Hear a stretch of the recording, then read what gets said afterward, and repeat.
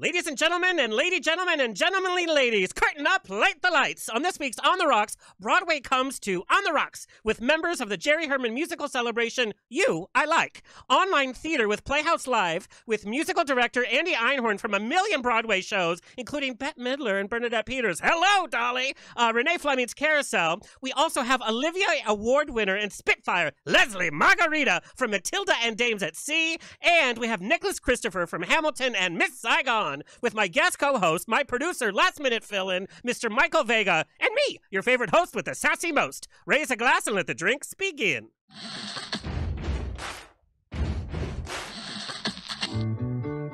Thank you for being. Life is a banquet, and most poor suckers are starving to death. I'd like to propose a toast. This is On the Rocks with Alexander, where I drink with your favorite celebrities as we talk about fashion, entertainment, pop culture, reality TV, and, well, that's about it. So pop a cork, lean back, and raise a glass to On the Rocks. Fasten your seatbelts. It's going to be a bumpy night. Lord have mercy, buns and bows and pantyhose. On the Rocks podcast, a place where we're too glam to give a damn. There are long lines everywhere. In line for the vaccine?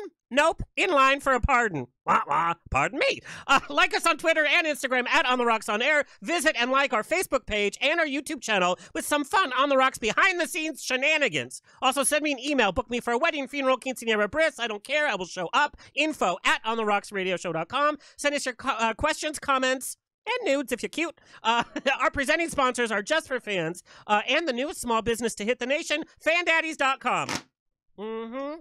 Uh, where you can get a, a fan to fit every one of your needs. Just visit Just for Fans and fandaddies.com for some COVID safe fabulosity. Kurt, do you have a pun for us? You're so punny. Yes, I do. Okay, make it snappy. We have Broadway people waiting. Did you know I had a uh, uh, crazy dream last night? I, I was swimming in an ocean of orange soda. Turns out it was just a fantasy. Is that like a Fanta joke? Yeah, exactly. Oh, fantasy. I mean, even I'm Latino and I won't drink Fanta. Fanta, Fanta, Fanta.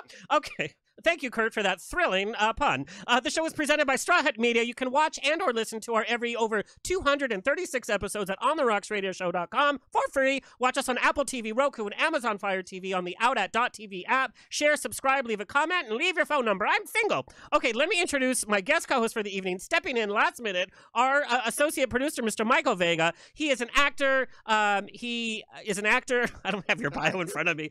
Uh, no.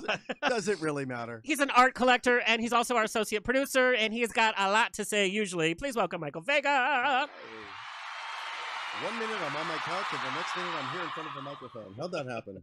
I don't know. Um, so we're we're going to discuss uh, "You I Like," which is uh, a new digital show. Um, in your whole extent, I know you've done tons of theater. Have you ever done something that's been filmed uh, for the camera, like a theater piece that just you just film?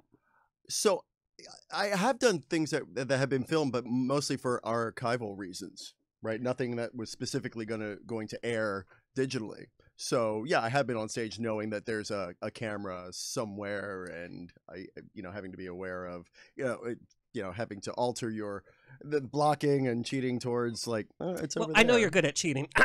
Wow. but when you filmed this for archival reasons, um, was there an audience there, or was it just for the camera? Just for yeah, because I mean, at, at that time, you know, back in the the 40s, the, uh, the sound quality and everything wasn't yeah, great. the So like, 1840s is what he's talking about. By the way, he was doing Tartuffe. Again. um, but we're going to talk about you I like because I had the opportunity to watch it. Uh, it's available on on uh, liveplayhouse.org, and it's interesting, you know, being such a big theater goer as as I am, and to see it kind of. Um, digitally presented and filmed, you know, it has a whole different aesthetic to it, um, which I, I actually loved because I'm like theater during COVID digitally, uh, musical, uh, you know, because we've all seen those uh, taped, you know, like you watch Into the Woods or you watch Mhm. Sunday in the Park. Of course, they were filmed like in the 80s, but it's still here's the proscenium and here's you know some different shots, but it it's lacking that kind of intimacy. And I'm I'm so thrilled to say that you I like has that intimacy. Um, where it's the full big show, but it's also that kind of cinematic kind of uh, relationship you have with the performers. Now, growing up on Broadway, because you and I have had our drunken show tune singing nights. Maybe allegedly. Your poor neighbors, by the way. Now, growing up, um, I was raised on My Fair Lady, Fiddler on the Roof, Carousel, Oklahoma. I was a latchkey kid, so the only music that we had were the records. We had records and records, Mhm. and so when I would come home, that's all I would listen to. That's what I grew up as music number one. I wasn't listening to pop music. I was like Madonna, who? But it was all the classic Broadway. Your classic or your Broadway experience is it classical or is it is it like all all the new kid shit? No, my Shit my first sorry. my first experience was you know it wasn't really at home, but I had an aunt who worked at McGraw Hill Publishing, and if you don't know, McGraw Hill is above uh, Rockefeller Center, Yeah. and so I would spend you know summer a week or so at a time, and she would take me to see shows. So I saw a chorus line and Chicago. Oh, wow. Uh, one of my first uh, experiences though was uh, a play and not a musical. Well, I know that you um, do a, a lot of plays on yeah. your own. You don't necessarily do. a Yeah, lot I, of I, I can sing, but I, I, I always say I'm an actor who can sing if he has to. Um, Like every lead in Chicago today. um, my aunt took me to see uh, The Odd Couple when Rita Moreno and Sally Struthers was in it, and that's when I knew I wanted to be an actor because actor. What is that? A- An I'm an actor. I'm an actor. You're auditioning for Andy Einhorn. Calm down. He's not casting right now. I'm an actor. acting.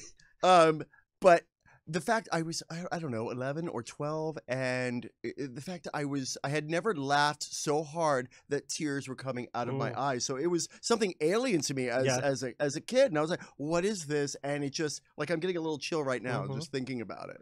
Well, I feel so privileged being raised in, in a theater home. My mom Mm. took me to see the shows. Um, I was doing improv classes, and my eighth grade graduation present, I just aged myself, was seeing the original production of The Secret Garden with the original Mm. cast. It was fresh, and the minute that the curtain rose and that dun dun, and then Rebecca Luker, God God rest her soul, uh, came down and. Like you said, it's the chills, and you can't mimic that Mm. feeling with anything else. You could go see a film on IMAX. You can, you know, anything like that. Nothing beats that that kind of feeling. Um, but I, but I'm a classic Broadway. It's funny when you said the Odd Couple because then whenever you tell somebody that, it's like, oh, Rita Moreno, or it's like ah, and then and Sally Struthers, oh, sh- stop. ah, she did. Okay. Do you want to make more money? All right. Um, as we said, musical theater during COVID. Are you crazy? Well, tonight we are going to chat with cast members of Pasadena's Playhouse You I Like, a Jerry Herman musical celebration that is streaming on PlayhouseLive.org, filmed during COVID, by the way, bringing some much needed Broadway positivity into our lives. Let's take a look at the trailer.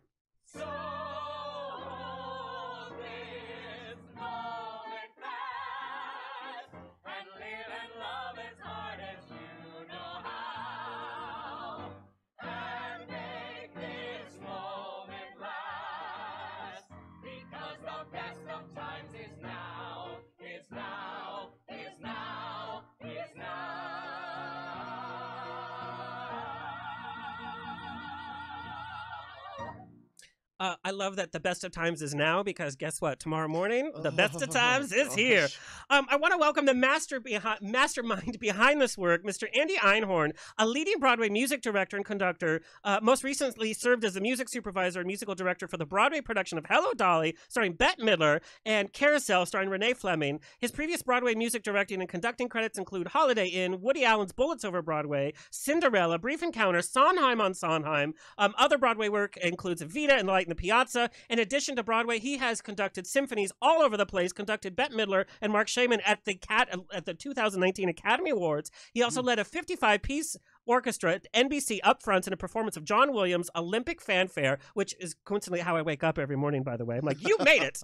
Um, and since 2011, Einhorn has served as music director and pianist for six-time Tony Award winner Audra McDonald. And uh, he's on all of her recordings, one of which I listen to literally every morning for six years. I've listened to this same recording. Um, he's also music directed concerts for the late Barbara Cook. Um, we're going to talk about that. His tour work includes Sweeney Todd, Light in the Piazza, Mamma Mia, Sound of Music, and The Lion King. And his recording credits are many. Currently, he can be seen as the host of The Hook with Andy Einhorn on the Broadway On Demand platform. Please welcome Mr. Andy Einhorn. Hi. Oh my gosh, the two of you are killing me. I am loving this. Oh gosh. Okay, we're gonna we're gonna First get. of all, you're so right. Tomorrow is the best of times. I just think it's Ugh. so it it we're gonna we're gonna talk about that, but even just hearing that trailer, it's like a breath of fresh air, and it's like here's a show tune, you know, and it's a show tune the way that show tunes were supposed to be like fun and light, but still say something. You know, I think a little contemporary Broadway is like the, the more dramatic and bombastic we make it, and the more Mm. kind of introspective we make it, and whoa, you know, we're kind of missing m- missing the point of, of musical theater. But I want to talk about you starting theater classes at age eight, just just a little kid. How did studying theater at such an early age prepare you? Not necessarily for professional life, but for your kind of growing up into adulthood. What what about theater classes did that? That's so funny that you say that uh, because actually I I was age eight and I started performing professionally as a kid right away because I grew up in Houston and you know they had Theater Under the Stars there they had the Alley Theater Houston Grand Opera. So I sort of was that bratty show kid that ended up sort of growing up like inside musical theater right away and I just loved doing it. But on at the same time I also started playing piano and so I remember coming home and uh, going with my mother every day to the local music store because I wanted the folio of every cast Yes. album. Or, and, but the worst part was like the the vocal selections was never the version that you would. Oh get. my God, Andy! You know, it was like never actually the show. So I remember we had a fax machine at the time when people used to have fax machines, and I'll never forget like. I, I would fax MTI and Tams Witmark and be like, um, I really need a perusal copy of this score so I could get the score version that I wanted to play. And of course, now these are so many people that I work with on a daily basis. So Isn't that it's really- crazy? it's almost like cringeworthy that I did that, but also very funny. I, I remember those days because my mom was a piano player, so she would go get music, and I would sit Oh, there for that. hours and go through all the vocal selections, and always be disappointed because you get home, you're like, "Mom, play this," and she'd play it, and be like, "No, that's not how it sounds." And it's like, "Well, that's that's the music." the dance break? Yeah. Wait, mom was a piano player? She still is, yeah. I did not know that. She's played You for never many of told my me that. cabarets until she quit Well, I because it was too difficult to work with. that is a true story, by the way. Um, and one of the one of the biggest uh, major purchases I made as a youth, I saved my money to buy the complete um, vocal and orchestra score for Sweeney Todd, and it was two hundred eighty-two dollars and sixty-three cents. Ooh. I can still remember the price tag. Um, I still have it. Um, now were Okay, you? so my par- wait, this is such a random story. My partner and I finally, you know, are like, i- it's that end of the year clean out where you're just getting rid of Yep, everything, yep. and so we finally condensed all, both of our collections of musical theater, you know, CD after CD, and we got to Sweeney Todd, and I was like, well, we can't throw out my Sweeney Todd because I was age 13. It was like literally a week before my bar mitzvah. I flew up to New York to do a reading of a movie that never happened. But in the cast, are you ready for this? Yes. insane. In the cast was Phyllis Newman, uh, Joanna Merlin, Len Cariou, Yes. Tom Hewitt, and Rebecca De Mornay. Oh my Oh, God! So what? I, I I know it's like the weirdest thing, and Bogart directed it. Okay, like this. so just put all those names in one place, and Len Cariou mailed me my or- the original cast album I have of Sweeney Todd is from Len Cariou. oh my And inside it is like this tiny little note scribbled out. I hope you enjoyed this as much as I enjoyed performing it. Oh my God, that's amazing. I want to come to the Andy Einhorn Museum. Like, I'm sure you have artifacts in, in in in your in your house. Now, were you bullied for studying theater growing up, especially uh, in growing up in Houston? Mm, no, but I was definitely that odd kid that was like, oh, he's going to grow up and do musicals Yeah. for a living. In fact, I just had my, here, let's all age ourselves. I just had my 20 year high school reunion last Oh year. So we did our uh, reunion on Zoom. And of course, one of the girls gets on there and she's like, so did you end up just going into musicals? You know, it was like that And you're like, exact statement that I just said. So yeah, I mean that was what I did. And thankfully I went to a high school that was that had an amazing drama program. Yeah. I convinced my high school to do sideshow. Oh my God! Wow, Wow. a high school did sideshow. Yes, it was like it was How progressive. wow, that's uh. but but like you, I grew up on the like the Rodgers and the Hammerstein, the Jerry Herman, the, the Frank Loesser. Like that was the stuff. My parents had a, a vinyl collection as well. And you know, I just remember driving my piano teacher nuts because I'd bring in. I was like, well, here's my folio of the songs from My Fair Lady. I'd rather perform that. Yeah, yeah, yeah, yeah, yeah. I, I I would study voice, um, and they would want me to keep doing opera, and I was like, "Can we do Your Good Man, Charlie Brown this week?" I mean, like, like literally. C- Can I just say, I wish my 20 year high school reunion was on Zoom, or we even had it to do that. But I digress. Well, I'm gonna say, do you want a bunch of you know older people trying to work out Zoom? Am I on? Can you see me? Oh my, that that's like well, I'll say the best part of so on the premiere night of You I Like, I'll name drop. We uh we had David Hyde Pierce Yes. and Bernadette Peters live. signing signing into the Zoom to do the interview. It was like, no, Bernadette, no, right, no, press that button, you know. And she's like, which button, you know? And David Hyde Pierce, he's like, I hate this technology. It's so funny, and uh, it, you know, we're all doing it. So it's like, you I just know, met a Bernadette the older Peters. you get, the the more obvious we become that we just don't know how to work any of it. and Bernadette looking so fabulous. I mean, this woman does not age, but I can say like, Eddie, Literally, Eddie, where's, I need her where's my Zoom? so Andy, I, I need to know, you know, of all the composers you've conducted, which are so extensive, from the good ones to you know some of the ones that sell tickets, um, why Jerry Herman? Because he makes us feel good. He makes us feel alive again, Hmm. you know. And one of the things when you think about when we did Dolly in 17, that was right as this uh, wonderful four years was beginning. I can't believe it's been And, three years. Um, yeah, and I just remember this sort of collective sigh from the audience once they knew that they were there to have a good time again. You know, like this this invitation that they were being given to a party that said, "It's okay to laugh. It's okay to feel good. It's okay to celebrate humanity. It's okay to feel alive." and that's what I experienced every night of that show. Um, you know, despite crazies, uh, but you know, to do that show every night and watch the audience reaction, you knew that you were a part of something because yes, it was about the Bette or the Bernadette or the Donna Murphy or and all of it, but at the end of the day. It was a celebration of life. And what I realized inside there coming out of that was it was going back to a why we go to see theater but mm-hmm. b how we make people feel good again Yeah. and that's what jerry was you know i mean if you look at all of his work it speaks for itself even even a show like Mack and Mabel i mean she's like you know dying of drugs but Yeah. she's still singing about hope and optimism You know what? And- you know what, what I love about uh, you, I like it. It really celebrates the song, and the focus is really on that. But then we get quotes from Jerry himself, and we get quotes from people that have worked with him. We're talking about quotes from Angela Lansbury, and we're talking. Uh, I mean, it's such a great um, intersection of how people revered his music, and exactly what you said. And the more I watched it, the more I just felt my stress go away. Hmm.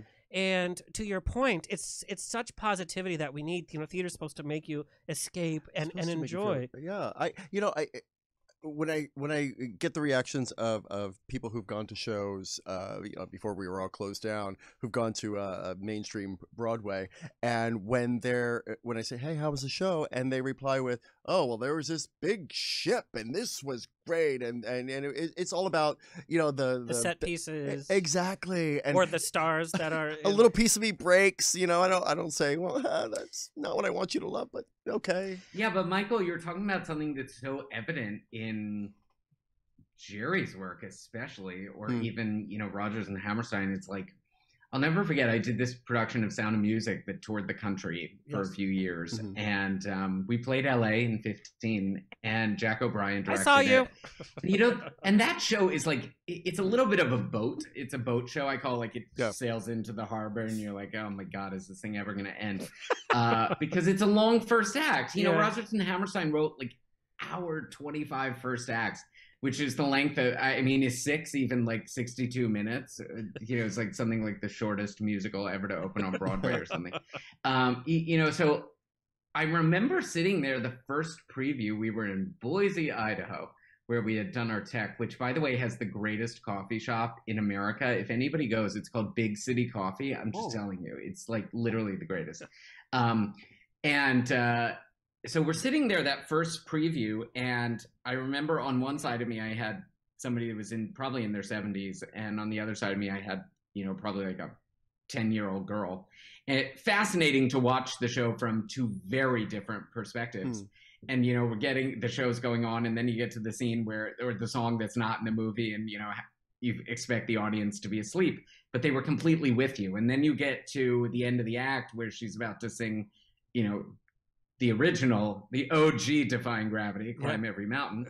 And, you know, both sides, these people were completely transfixed by the show. And I- I mm-hmm. remember Ted Chapin, who runs Rodgers and Hammerstein organization, was there. And I got to intermission and I said to him, I was like, well, I think it still works.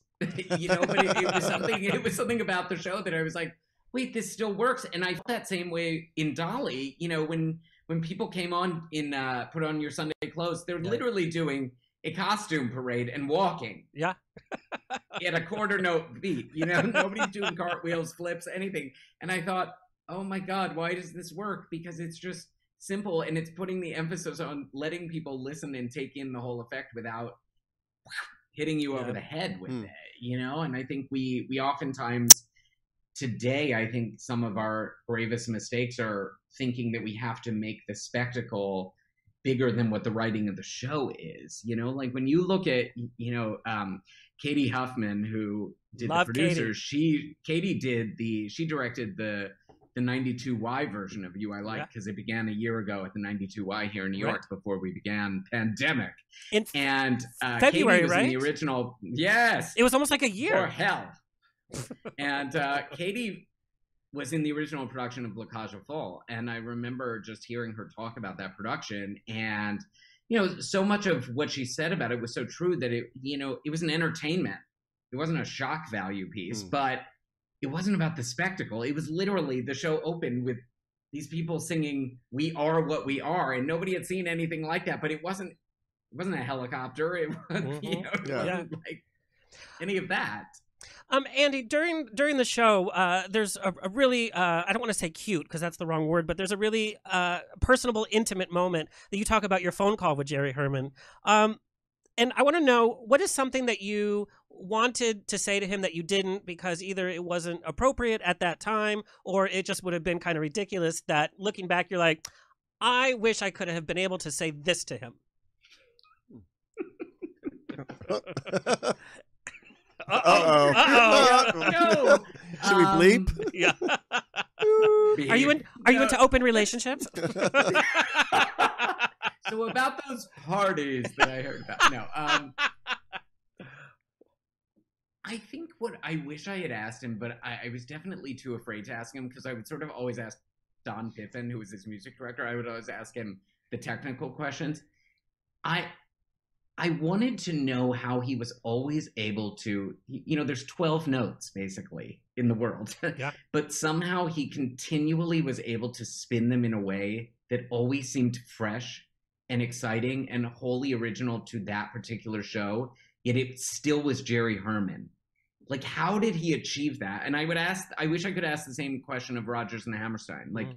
Richard Rodgers, it's that same thing where it's like, it just is their DNA, yet they continually spin it.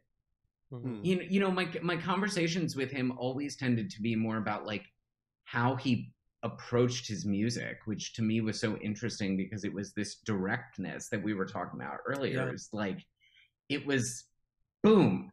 Here's how the song goes. You know, the back phrasing, no thank you.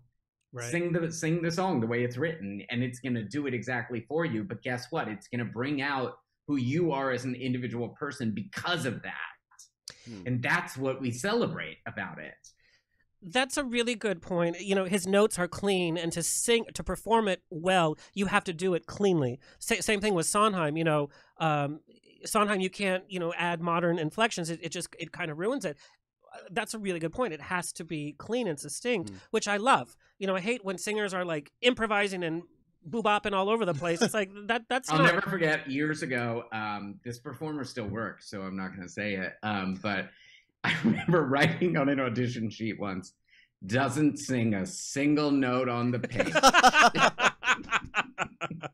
but you know, one of the things that's really interesting, this is also tales out of school, but like when Bette was doing Dolly, you know, there's this innate freedom that has always been around with Dolly. You know, you look at Carol to Pearl Bailey to you know everybody who's inhabited that role, and they always have a way of making it their own. And I always found it really enjoyable hearing what Bette would do with the score. Like there was there was always a freshness to it that it was still Jerry Herman, but with that Mhm. extra flair of Bette in there. And I was raised on the Bette from The Rose, from her uh, Live from Cleveland, which is one of the best albums she's ever done. I mean, I listen to it incessantly, and there's that raw kind of energy that she brings where she is all over the stage. And it was so funny to see her play this role. And, you know, she did Broadway. She was in Fiddler on the Roof when, when she was younger, but it was so different to see this. And what I loved about her being in, in the role, because I'm not really into celebrity casting, I'm, I'm just I'm, uh, Hollywood c- celebrity casting. But what it did, we all know how uh, Hello Dolly is a well established musical, but for the younger generation that grew up on Rent, they're like, I'm going to go see Bette in the show. And then they come away and they're like, wow, Hello Dolly's a great show. I need to get the original album. I need to watch the movie, which Gene Kelly directed, by the way. Yes. Oh, oh, uh, we had Gene Kelly's uh, last wife in on the show, and she brought his white Converse that he wore every single day to set while directing Hello Dolly. So he and uh, Kamala Harris have the same shoe. That, there you go. he was the OG. Um, so Andy, what, what another thing that I really appreciated was was the kind of diverse cast of You I Like. Being the mastermind behind this, were you part of the casting? What was your vision uh, for this group that you brought together?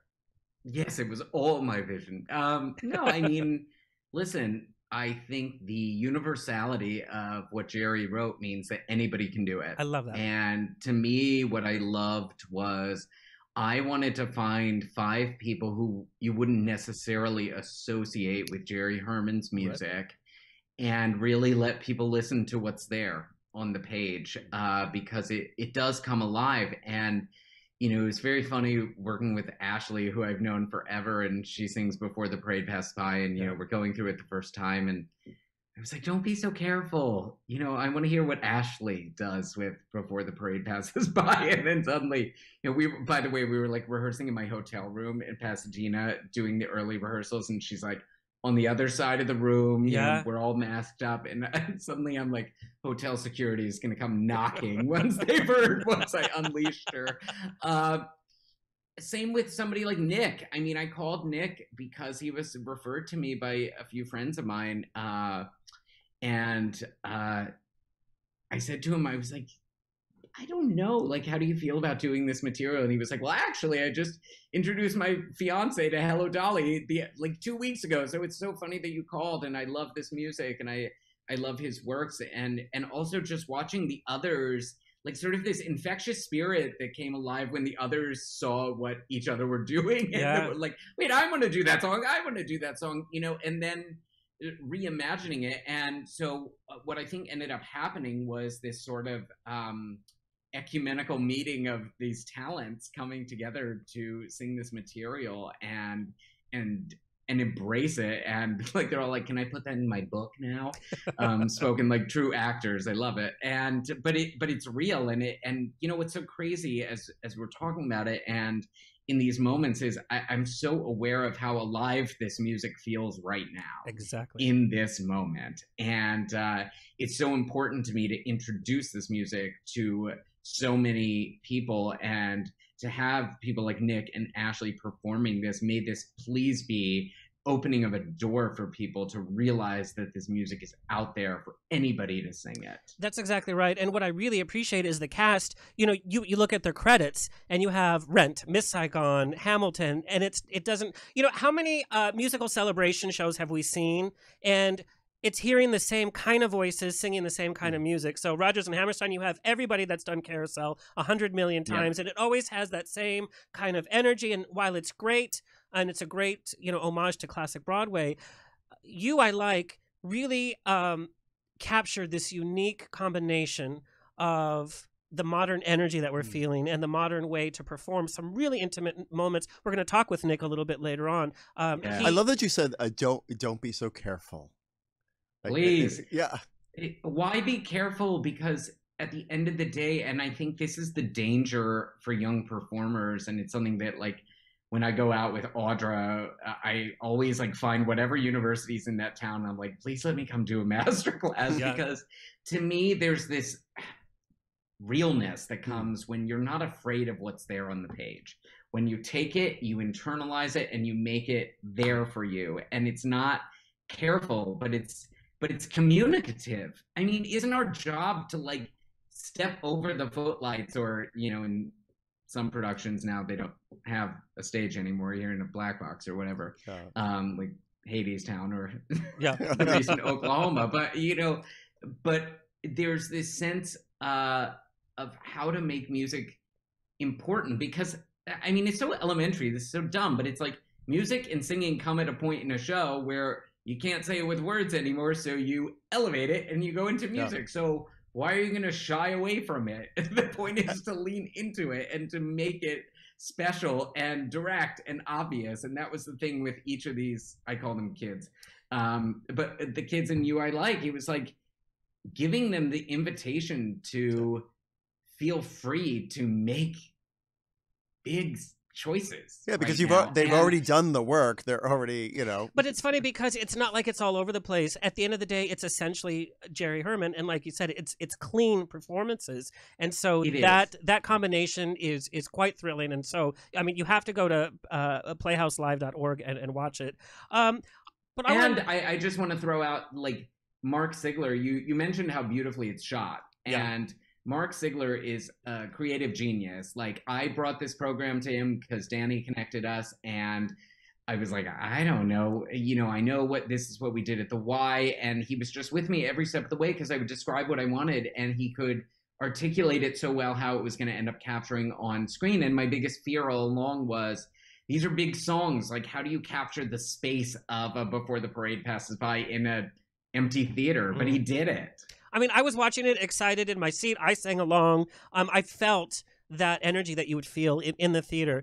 So, Andy, you you had done the show before. Th- This is you are the uh, you you conceive this, you put it together. But what did you learn about yourself personally from doing this as a filmed performance over a live performance? This whole process. What did you walk away personally uh, learning or experiencing? Well, for me, it was actually an extension of what Jerry talks about, which is a sort of a second chance at something. Mm. And so rarely, as an artist, are you ever allowed to come back and revisit a piece that you've done. Um, you know, if you're conducting a run of a show on Broadway for 300 shows and then you leave, you're like, bye, please, never again. um, you know, but, but so, rare, so often we put together like these Monday night benefits or throw together a concert in six days and you do it three times and then you never see it again and you think, oh, that tree's dying on my shelf over there, or you know, just scan it into the computer and then Yep. never hear from it again. So when I had this moment to come back to this, I went, oh my gosh, I'm gonna take this, and so the chance to collaborate with Danny Feldman at the Playhouse, as well as new performers engaged in this version, or as well as with Mark, it uh, really forced me to look at the piece again and say, how do you take something that's meant to be in front of 700 people, but bring it to people's living room? And I'm going to shout out to this talent that not many people have heard of her. She only has six Tonys, but you know, occasionally she does sing. Occasionally, um, this Audra McDonald person that I've been working with for a few years. You know, I've been asking her to get voice lessons, but. Um, Who? You know, uh, yes, exactly. So Audra has this kinetic ability when you're in a concert with her, where or in a show where it feels like she's only talking to you. And so that was my goal here is like when the camera was on me talking to people, bringing that intimacy to everybody that makes them feel at home that it's okay to be sitting in your pajamas drinking a martini Yeah. listening to Jerry Herman songs and At 10 in the morning. be okay with the world. Yes, exactly. So, you know, that for me was the biggest lesson is like be okay with making smaller choices. I mean, I think in theater we're so used to ma, you know, Yeah, big, yeah. big, big. And everything here just felt okay to me to just make sure that it was honest and natural because that's what Jerry that's what he wrote. It was always honest and natural and I wanted to fulfill that in doing this. part of the joy I, I saw in uh, You I Like is not only do we um, get to see your masterful piano playing. Most times you're not even looking at the keyboard. You're just you're just hmm. in the moment, which is such a joy. But we actually get to see you uh, perform alongside the cast. Um, I want to take a little a sneak peek at uh, the title song uh, starring Mr. Andy Einhorn uh, with his cast. Let's take a look. You, I like, so let me tip my hat in your path. I spread a welcome mat you I like. Can you imagine that? Although your ways may be strange, and there's much that I'd change somehow. You I like and warmly recommend. From now on, we call each other friend. I'll be at your side until the end. Can you believe that I found such a thrill in the sound of the new chord we strike? You I like. I like, so let me tip my hat. In your path, my spread a welcome mat. You I like, can you imagine that? Although your ways may be strange, and there's much that I change somehow. You I like, You so I let like, me tip so my let hat. me tip my hat. In your path, In I your spread path, a welcome I mat. spread a welcome mat. that was uh, that was just a little sneak Yeah, because God. just, you know, just, just nice gentle cut. Um, because you have to go to playhouselive.org and you, you have to watch the show. Plus, there's a number of other shows you can see um, as well. So I have to know, you know, I, I always like to to know the nitty gritty behind the scenes. You worked with so many big names in the biz. Um, who was the first big name that you worked with that you're like, what? Like, I've made it. This is who I'm working with. Who who was that? Who was that star? Mm, it was Audra. Yeah. Uh, it was 2006. I got a call. Uh, it was so random. Uh, I had, let's see, I had just graduated in 2004 from college, and because of my ties to Houston, she was premiering two operas in Houston. And a professor of mine from Rice called me and said, there's this woman she's coming to houston grand opera and you know you're living in new york and you also live in houston and you know would you want to coach this woman? And i was 24 and i was like coach audra sure. So, you know flash forward to your high c's a little flat you know and i just but i remember meeting her the first day and i, I said oh it's very nice to meet you and she said, Don't tell me what's good, just tell me how to make it better. And I was like, Oh, we'll get along just fine. Cut to years later, you're flat. you know? You know, Andy, this is literally my next question. How do you tell a major name in Broadway that they're a little flat or lagging behind or their interpretation is not quite quite there? How does one God, tell you- it to you Barbara sound Cook? like the question wait, you sound like the question that Bette asked me. What if I'm doing something you don't like? How are you gonna tell me? Oh, I said, darling, very delicately, but you'll you won't even notice that it hurts. You know? But you know, it's to me, it always comes from the place of saying, I mean, look, with Audra, we've been doing certain songs, you know, for three thousand years, and uh, I, I sort of always look at music as this very elastic thing, you know. And again, that's another joy of coming back to you. I like was finding new, more nuances in the scores that I didn't even know existed from the first time uh, that I did it. And I, I, you know, within that elasticity in music, I feel like there's parameters that you can go to. And uh, your job as a music director, I often believe, is how what are those boundaries there and for me with Bette you know or audra or somebody like barbara cook is like it's the nightly sort of judging of okay was that within the parameters or are we pulling a little too far out? Because the joy of the shows that i've been able to do thankfully have always had large orchestras and don't rely on a click track. So that means they live and they breathe. But within that living and breathing you're allowed to have that sense of how far can we go?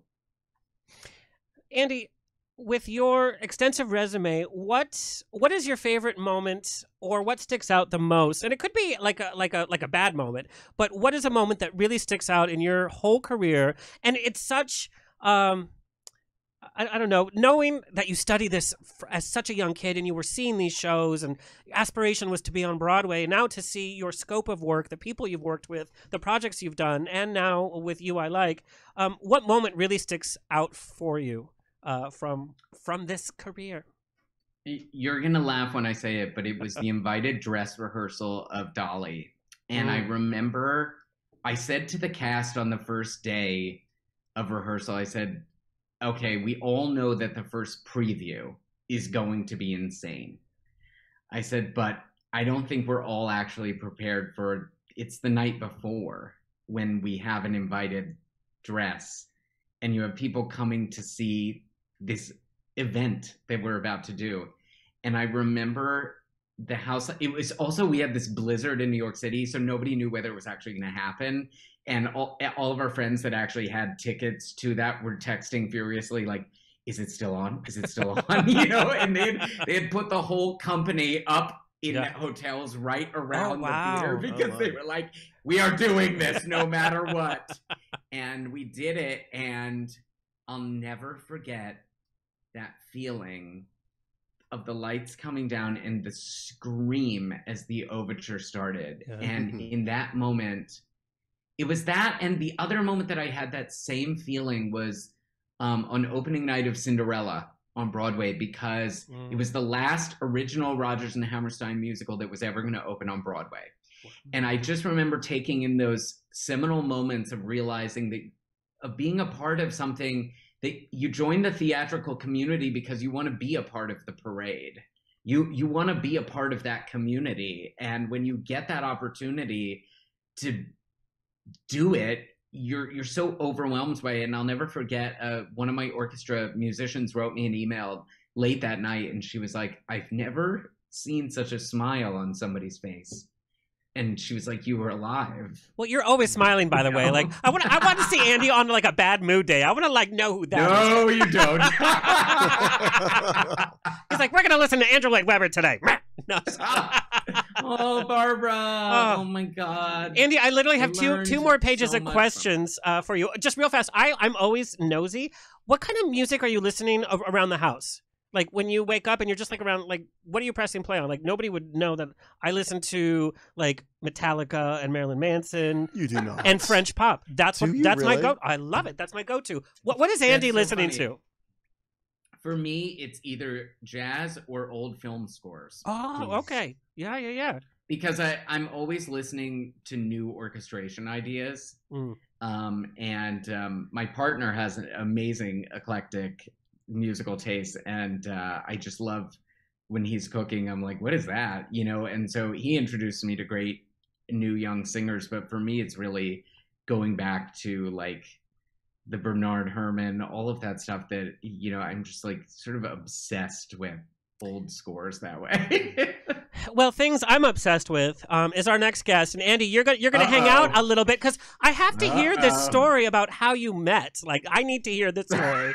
so, I, I want to welcome to the show um, Lesli Margherita, an Olivier Award winner for her West End debut as Inez in Zorro the musical. Um, she made her Broadway debut, originating the role of Mrs. Wormwood in Matilda the musical, after over one thousand performances. She bid farewell to the Broadway company Matilda and crossed the street to the Helen Hayes to star as the diva Mona Kent in Broadway's Dames at Sea, one of the most graffitied posters in Broadway history, by the way.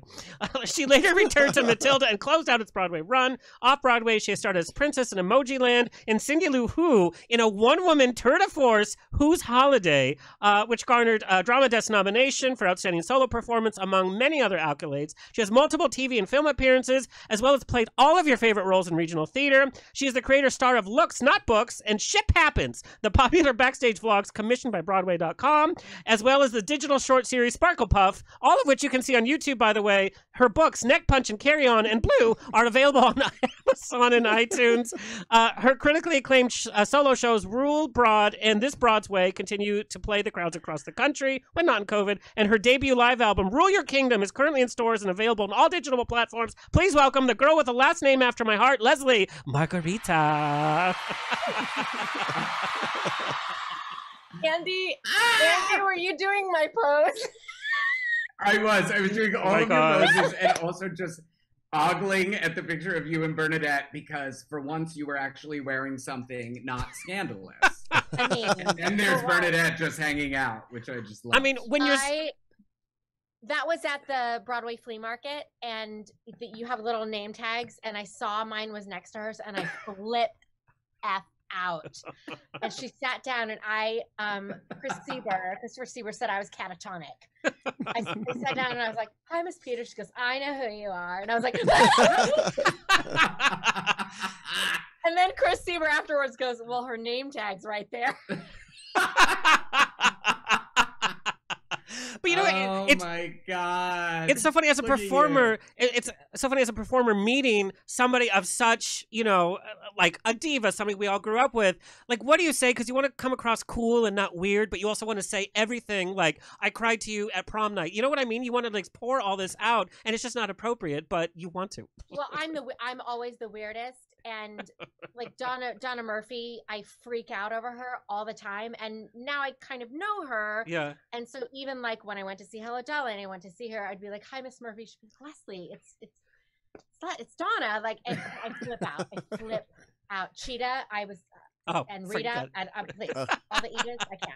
Okay, so I need The to hear Ediths. how you guys met each other because there's a story here. You got it. This is on the rocks. Yeah, it, it's no, no, it's good. Also, I just want to comment. It's really funny. Everybody's like their Instagram, and mine's like www.playhouselive.org. But I have an Instagram, which is my cat. Oh, it's so- ridiculous, Andy, by the way. I swear, Broadway people are the worst social media people, except you, Lesli. Queen Lesli has got it going on. But, like, Lesli. with I love it. Nicholas, like, Nicholas is like, I might have an Instagram. I don't know. Like, uh, come on.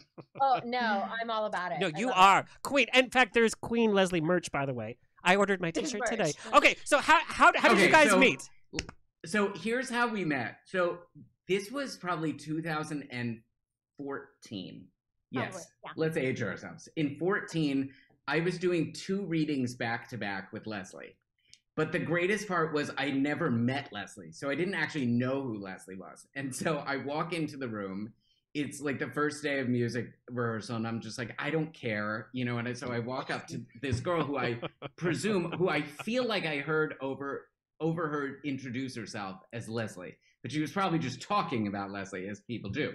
And so I walk up to her and I was like, I am so happy to meet you, and I am so excited that we are doing this and the next reading together. And you see the girl's face be like, we are? and, then, and I believe that you were actually sitting right next to Was. her.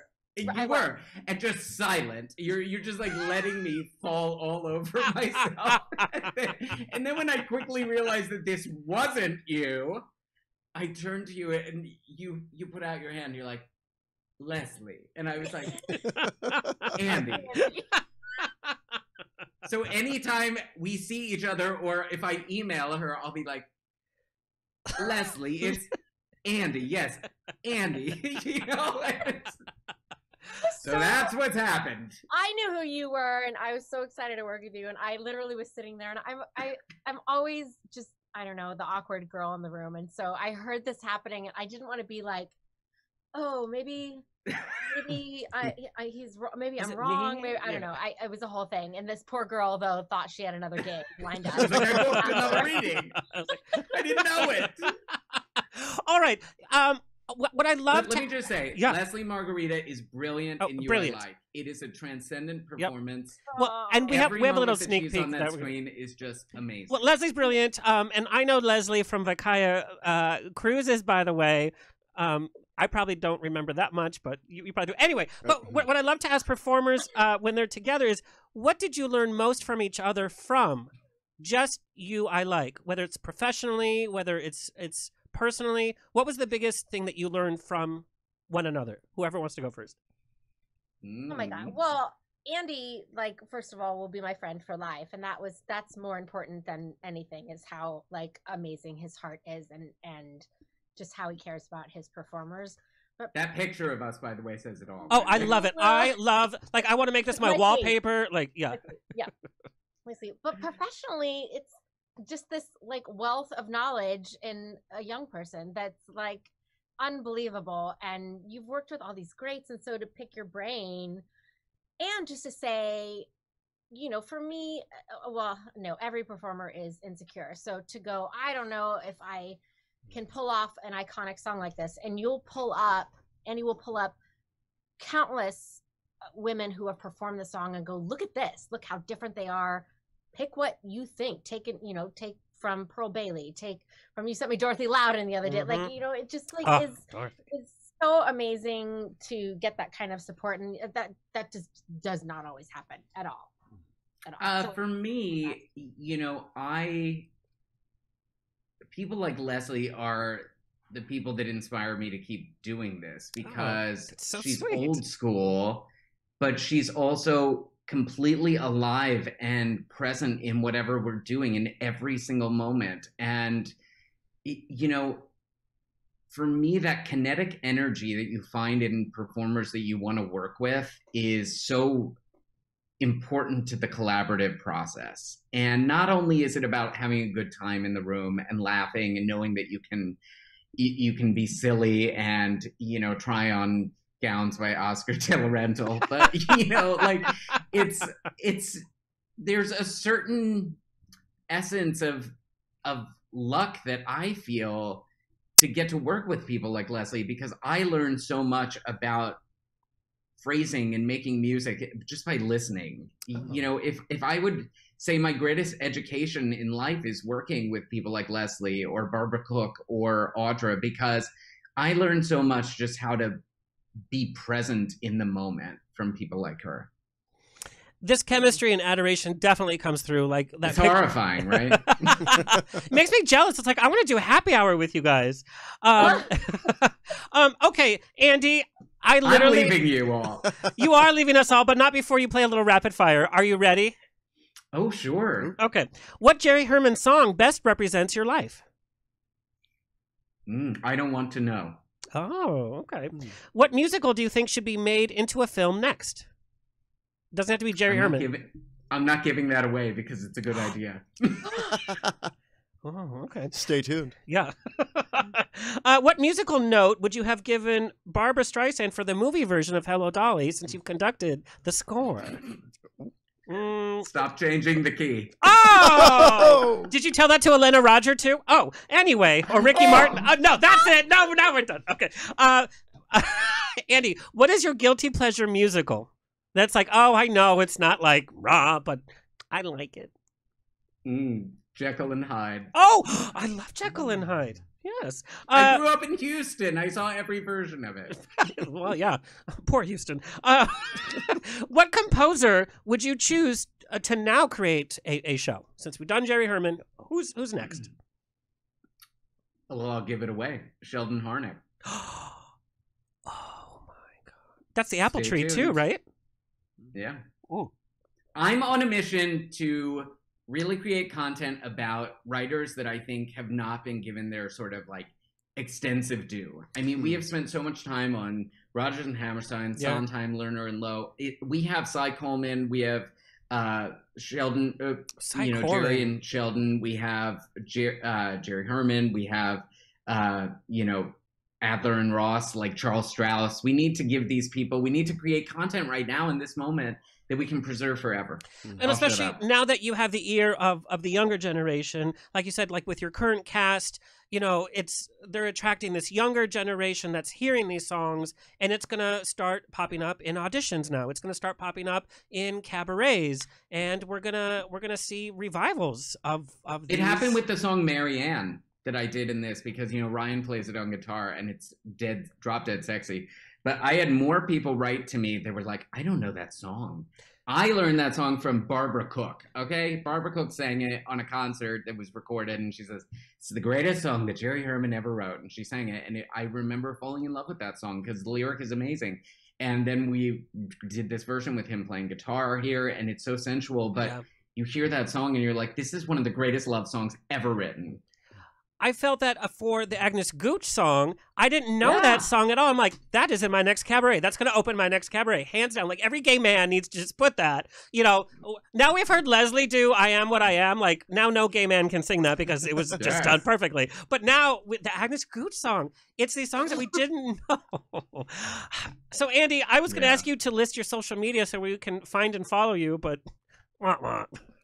It's, It's his Governor cat. Jack Cuomo two one four. Okay, well, that's easy. Thanks, Andy, for that easy. But I want everybody um, go, go to playhouselive.org um, and watch this beautiful Please. show. Andy, Love we're going to say goodnight to you because we have a lot.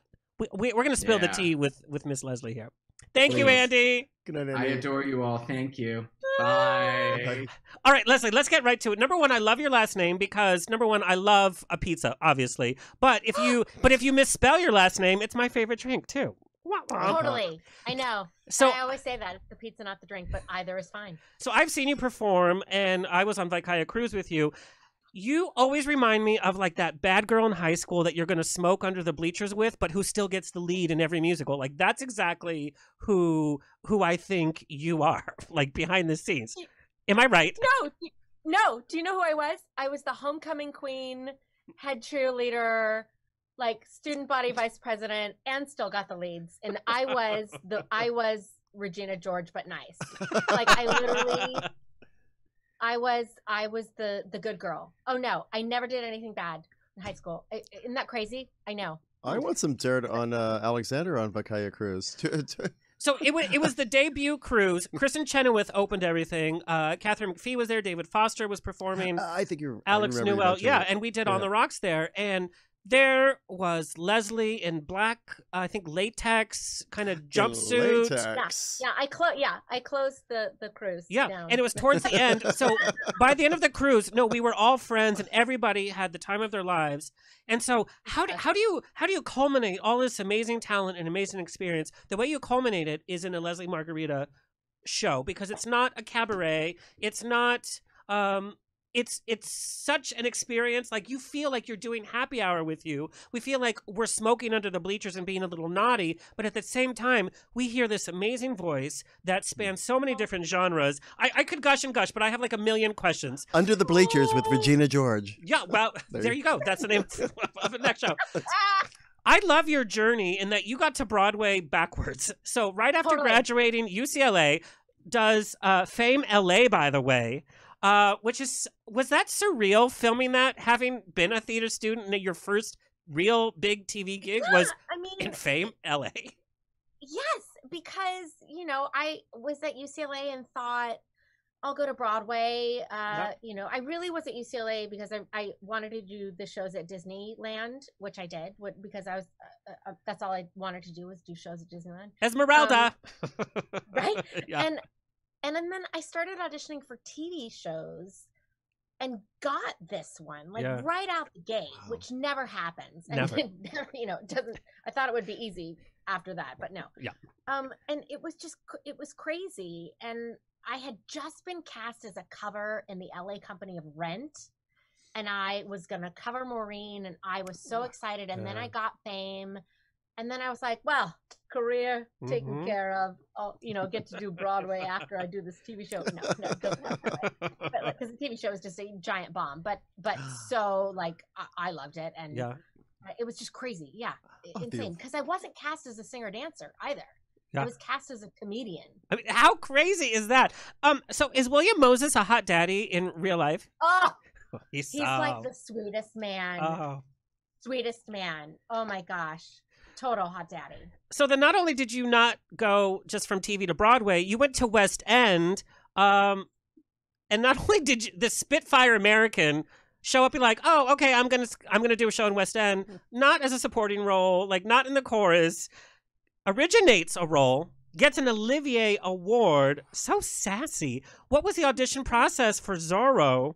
Um, do you remember what you first auditioned with? Yeah, so it wasn't. So I didn't audition for the show. I you auditioned it? for a one act version of a workshop Oh, of Zorro the musical, and I remember being like, "Oh, that's a winner." Zorro the musical. And the audition was at there's a studio. I'm I'm in LA right now. The studio, as you are, so are we? in Yep. LA called Madilyn Clark, which Yeah, has oh. like the right. The I've gotten more room, and then rejections there than in West Hollywood. I mean, You right? sure? Because then there's also the happy quinceanera room where they have the quinceaneras and like weddings and stuff. So and the I Persian birthdays. Don't forget the yeah, Persian birthdays. Yeah. right? Oh, totally. So I was auditioning because a friend of mine called me. He was stage managing it, and I was like, "Oh God, I'll go audition for Zorro for these British people." And I was auditioning for like the like ingenue girl, and I I showed up and I was like, "Oh, this is not me." So I auditioned. Um, I I sang Bamboleo. They had me sing Bamboleo in the audition, and that I ended up getting the role and from the ground up like got to kind of write this role with with them for me never thinking i would get to go to london always going well they'll get some brit to do it and it took three years of Wow. workshops in California and New York Yeah. and San Francisco, like three years, and then I was the one that they ended up taking, which Wow. was crazy. The rest of the And cast was like, really? I, but I had been with it like the longest, and and but it was it was insane. It was so nuts, and I had been auditioning for Broadway shows and flying to New York for so many things and getting so close, and nobody gave me a gig. And then I so I ended up in uh, on the West End first, which is bizarre. And literally, I was like, won the Olivier. Ooh, now I'm gonna get a Broadway show. No, Where were you when you first heard that you had an Olivier nomination? Like, who, who called you? Was it your agent, or did uh, like?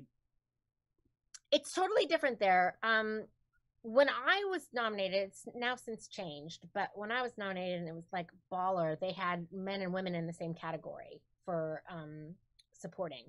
So uh, I was actually in my apartment there, and there's no like campaigning for Olivier's. It's the words are just not not the same. Yeah. it's, it's cool. Like it. Um, Well, and you're supposed to play it cool. Your acceptance speech was not playing it cool, by the way. so shocked because everybody there told me I wasn't going to win because they said Americans don't win, and, Yeah. and now some have, but then it wasn't. I I was like, great. Everybody told me I wasn't going to win, including my my dude that was Zorro. He's like, I, I was so excited to be nominated that I didn't even. I wrote down like a few names. My husband told me write down a few names in case. It, the the speech is a debacle. I look. I literally. I it's so about it sweet, and it, the no, it's it's it's um it's it's very real. Was it a Halle Berry moment? Well no they announced my name and i and i always say like it looks like i was the next contestant on the price is right like they said my name. you Price came on down. like, it ran, like it is it just kermit arms everything it's unbelievable but Lesli, it was very real yeah um, your resume really spans a few different times in in Broadway. Not saying you're super old, by the way. I don't want this to end up in your next uh, debut album where you talk about like the backhanded compliments. No, I really mean that. But you have been, uh, you know, you're you've been in a few different genres, such as Matilda, such as Zorro, Dames at Sea. It's it's really a culmination of what Broadway is. Uh, we've seen a focus on women in Hollywood behind the scenes, behind the camera, uh, as directors, producers, writers. Have you seen a change in women's roles behind the scenes in musical theater from your experience in the West End and in Broadway? not enough um not enough come yes uh i'm very very lucky in that the roles that i play are always going to be the spitfires or the the strong women or you know and and the thing is like i play a lot of these classical roles too like aldonza and Yeah. even adelaide in guys and dolls like these are really strong women so i'm very lucky that i get to play that kind of role um mrs wormwood uh, especially but um, I definitely think there's been a shift in the last few years, at least for workshops that I've done, that is more uh, from the female point of view and female creative team. But it's definitely not enough. Um, it's getting there. It's it's getting there. Uh, you know, and I, it's just going to take time. And the, the the sure fact is, there's just not that many uh, females behind the table because we haven't had that many opportunities. So a lot of women aren't going into the fields. You know what I mean? So um, I just think the more opportunities that women will will get, it'll just the field will just get bigger and bigger. But yeah, I'm I'm, I'm seeing a shift. It's it's coming. I hope after tomorrow that that completely changes. Well, yeah, the whole vision of women in power. But it's very interesting that classic Hollywood has some great female roles, such as in Oklahoma, Carousel, but it's still uh, a, a man's world in Broadway, which is so ironic. Yeah. You know, um, anyway, I have to talk about Matilda. 1,000 performances. Um, I- I hate children. I'm just going to be honest. I can't stand So do children or cats. Lesli, I want to ask you, how did you get through a thousand performances? What got you there? Xanax or Pinot Grigio? Um, All of it. but seriously, though, such a great role, such a great musical, but a thousand performances, and then kids on top of that. What know. what kept it fresh for you? What what kept you going No. back performance after performance? And then how Well- did you keep the character fresh for for you? So for me, I had tried to to make my Broadway debut for so long and Yep. had gotten so close. And it took the Brits who had seen me in Zorro over there to give me this role. Um, so I was so overwhelmed and excited to be on Broadway finally after so long um, that I could have done 5,000 performances Wow. because I was Wow. so grateful to I be on Broadway. Um, and I still feel that way. Like I getting to do that is it's and I, I tell people all the time I cannot stand there is a, a, a- movement of people who are like, I'm tired, I'm going to call out of my show. And and that has validity, validity sometimes. Right.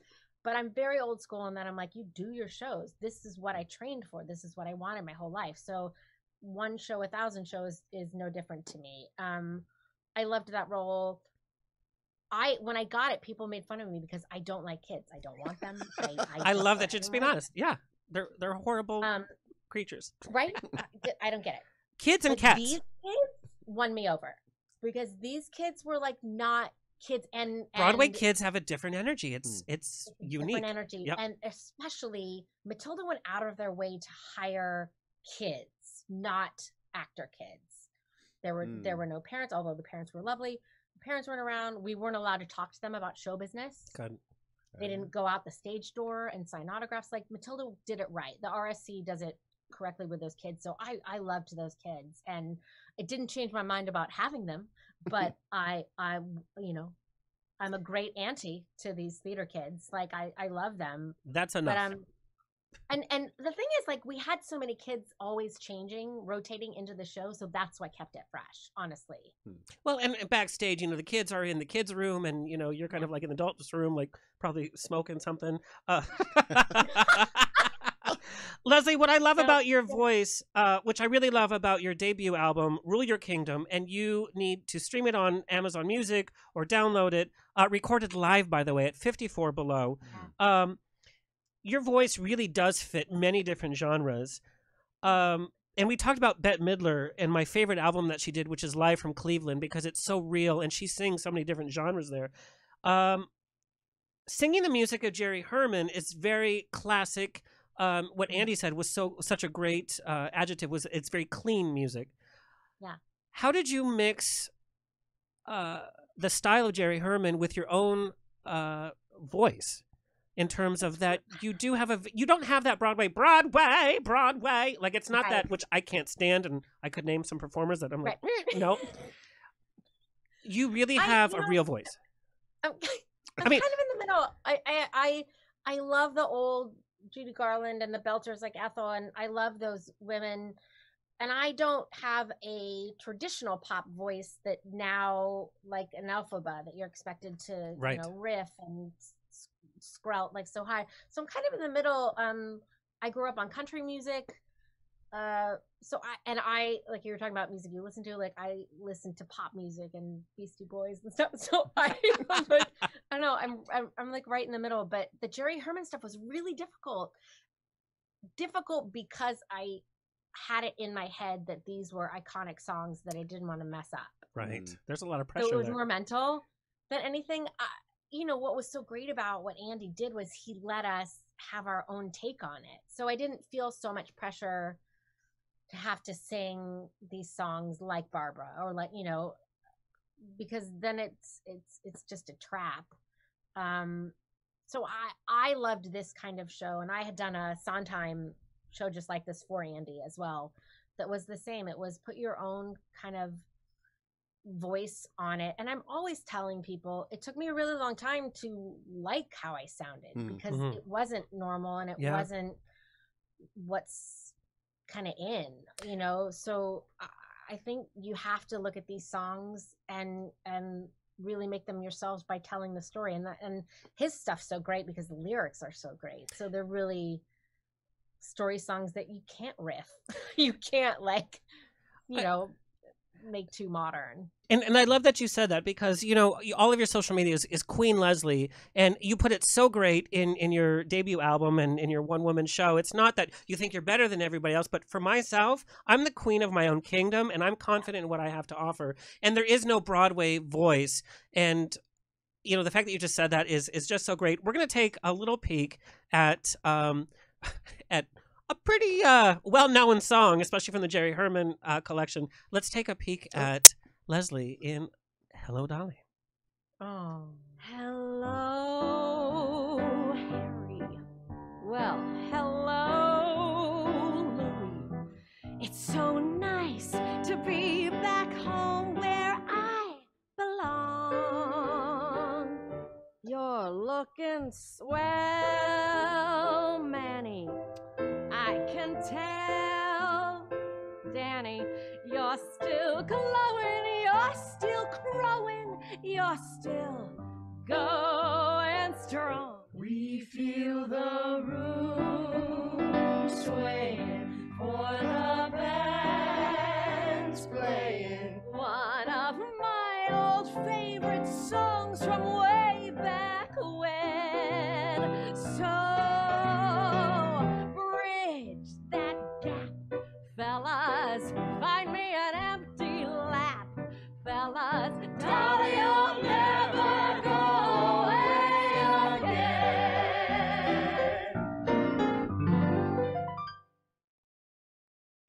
That is sex bomb.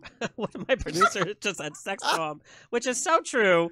Uh, how many days was uh, filming? Was it kind of done in a one day shot? Was it a two day shot? Three, two. two days. We rehearsed um really it was really quick. We rehearsed about a week. Uh you know, and I, I'm sure Nicholas will tell you because we kind of had the same experience. Andy, huh? Um, Andy said like, "Don't worry about it. It's like three songs. It's mine. Oh I yeah. like, "Oh, okay, great. Number It's one, it's Hello else. Dolly, and uh, I am what I am. Yeah, and 80 other hits. no biggie. Yeah. And so um, we had about a week to learn everything. We had a day, I think, of staging on the stage, but then we shot for two days, which Wow. was which was nuts. And that's why what's so cool about this, and also what's so terrifying, is that it's live.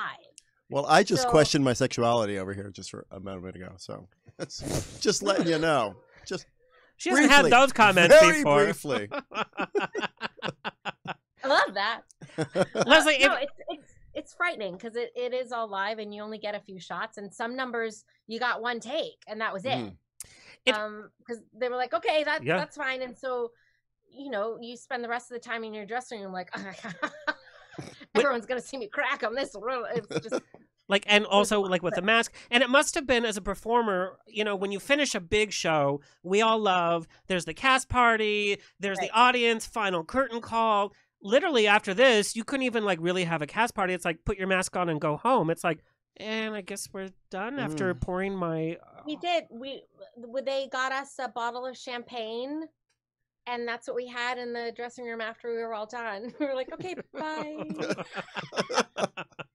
that was it. It was so so odd. Um, Wow. And drink it from sad over because there. you were like, I was so excited to get to perform with these amazing people on a stage, and actually like you know doing what we love to do again, and then it's over. So uh, you know that that just was kind of a bummer to have to go back to regular performing on Zoom.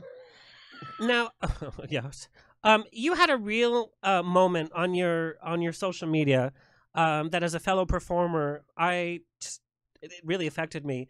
Where you your camera was still rolling and you had either just finished uh um an at home audition and you thought you had just done not so good and it's these tears and it's this kind of raw and you're just you're just kind of crying there and you still like you shared it with us. It meant a lot to me just not even as a performer but anybody going through covid we're not doing too well. You know what i mean but it was such a real moment and what i love about your social media what i love about your storytelling because i don't think you like oh you're just a singer you are a storyteller and what, what I loved about you sharing that, it's like, yeah, this is the struggle of an actor. Just because I'm in this or I have an Olivier Award doesn't mean that it's smooth sailing. It's a daily, daily uh, struggle. And so I wanted to thank Yeah. you for, for, for sharing that.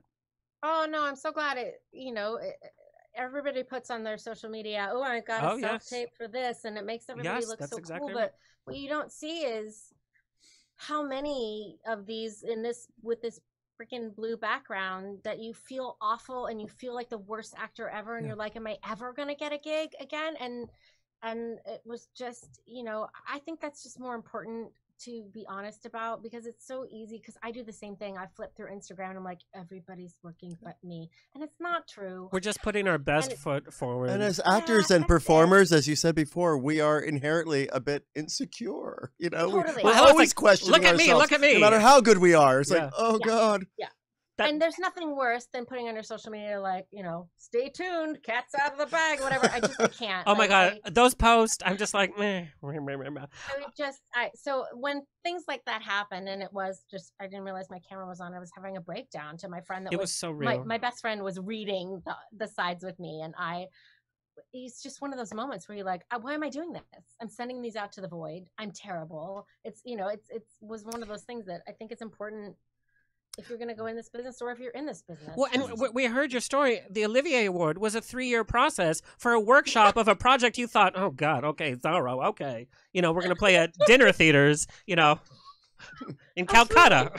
I thought it was going to be like Party City, Zorro Mask, and just hey, like- I'm all hey, I'm I'm I'm all about that. Anyway, um, so Lesli, I want you to to stick around because uh, we are bringing on Mr. Nicholas Christopher, a man so intense he has two first names. Like he just can't do like a regular name. He's like Nicholas Christopher, like James Bond. Like he's the James Bond of musical theater. So cool.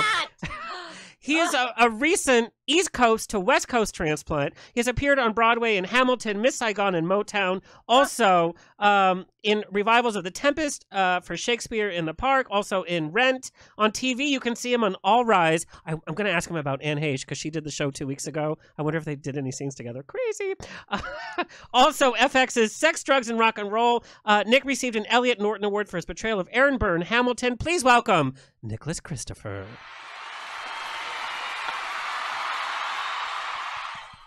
What's up, everybody? Hey. So, Nicholas, number one, well, I'm going to ask you this later. Why is your social media so bad? Uh, except for Instagram. I'm like, can I tweet you? Can I Facebook you? It's like, just the gram. Nah, just just Instagram and tell you the truth, I'm a little sick of my own face. So no, I love your Instagram. It's the I'm only. not sick of your face, and I. He's straight. Calm down. I, I don't- But sorry, poor Pasadena Playhouse is trying to tag y'all, and it's like Queen Lesli, Queen Lesli, because she's got it under, and it's like, wait, hashtag who? Poor Andy. Anyway, I I want when I, uh, Lesli did this with Andy, and I'm going to do it with you. What did you guys learn from each other from this process? And now I understand it was under COVID, so you couldn't hang out like regular. You know how we all have downtime during theater. We're all talking shit. We're all you know getting drunk and cast parties and all that. But what during this limited rehearsal, filming time, what did you learn from each other? I'll go first. Yeah. I had been a fan of Nick's and like I thought when I met him he was so serious and like he was an artiste and an actor and he is those things. However, we soon realized I was like, he's a fool and I love him. Ah, I love that. he's one of those people that is so like his, he's so good at what he does that you just don't think you know those people that are so good at what they do you don't think they have like a personality as Like, well Pat, no, no. Is that weird? Like Patrick like Stewart is one of those was a good- actors. yeah. Patrick Just, Stewart like, is that so kind of actor. good. And then he was like an amazing person on top of it. So for me, it was it made me feel better. I was like, oh my gosh, there are like amazing performers that are normal people. and listen, what I learned from him though, this was every single take. What I was talking about, like how nerve wracking it was to do in one take. This dude, every single take was perfect. On the top of a ladder, by the way. The whole time I was I- like, I know that's on a ladder. I know it's on a ladder. It's unbelievable. Nicholas, what Yeah, did Lizzie. what did you learn from uh, Lesli? Oh well, I mean, she started with her first impression. So my first impression was I had always heard this name, Lesli Margherita, Lesli Margherita, Lesli Mhm. Margherita, and like you know exactly who she is by hearing her name. And so we're in rehearsal, and I think I had to be in rehearsal first before you, or like you came late or something, and you had like CVS bags. you had these, you had your mask on and these huge sunglasses. And then I turned around, and within like two seconds, you had everything like spaced out around you on the floor because we were all six feet apart. And I looked, and I, I turned around and said, "Oh, you're a wild woman." and that was the first words to you ever. But the thing I learned about you, which was so like just great, is that I well, well, just part of your personality is like you're wild and crazy, but you have this depth about you that is just beautiful, and you're not afraid to share that. And I think a lot of people joke around and stuff as a cover, and like you don't do that. You bring both sides of your of all sides of yourself to everything. And so when we're filming these things, or like when you would try something new, or you might like mess up a lyric or two, like we all did, you were just like, great, let's go back to point A and let's keep moving and let's keep going. And um, the watching you be so fearless and not afraid to fail was just like I think it got everybody else in the cast on the same page. Like, Wow. oh, this is okay. We're we're gonna be okay. I love that. You know what I mean? Lesli, um, Yes. can you stick around because I wanna I wanna take a peek at one of uh, Nicholas's songs because I want to talk to you both about uh, this kind of gender swapping of title songs. Uh, let's take a look at Nicholas Christopher. Uh, if he walked into my life. Were the years a little fast? Was his world a little free?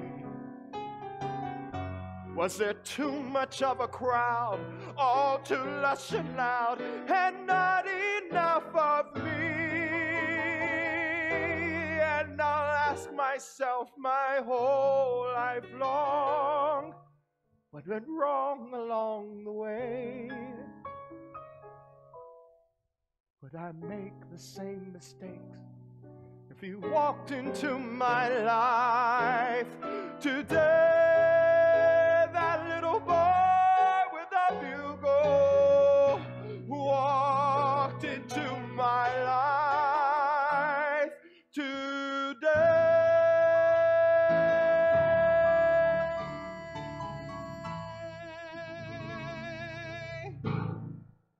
So you know, just a little ditty. Just the part where split spits flying out of my mouth. that means you're actually singing. You know how Jonathan Groff got so much crap for Hamilton because he's like, it's like that's a good singer, bitch. Um, so Lesli, you sang "I Am What I Am," which not only is gender swapping, but it's also an iconic song. It's like, okay, girl, what you got? Because, like I said, it's done in every cabaret, every two-hour first-person's cabaret. It's like, oh, we're gonna do this. Um, and I know that you had played with it a little bit during your debut. Live, you did like a little parody of it. You know, I am what I am because you were talking. yeah. Yeah. so then it's like, okay, we're gonna do a Jerry Hu- uh, Herman celebration. Then we're gonna film it. Then we're gonna put it up on the internet, and then we're gonna promote it.